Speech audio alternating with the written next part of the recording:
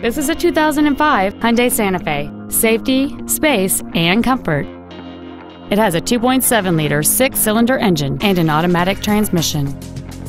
Features include a multi-link rear suspension, aluminum wheels, cruise control, a CD player, a security system, 12-volt power outlets, fog lamps, rear impact crumple zones, a split folding rear seat, and this vehicle has fewer than 67,000 miles on the odometer. Call or visit us right now and arrange your test drive today.